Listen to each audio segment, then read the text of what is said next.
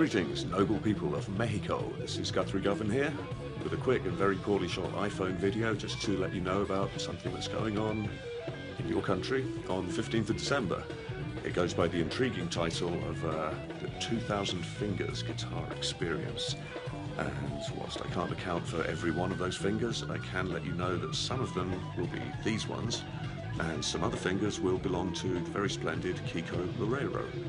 So this event's happening at the Centro Cultural Roberto Cantoral. Hey, I tried.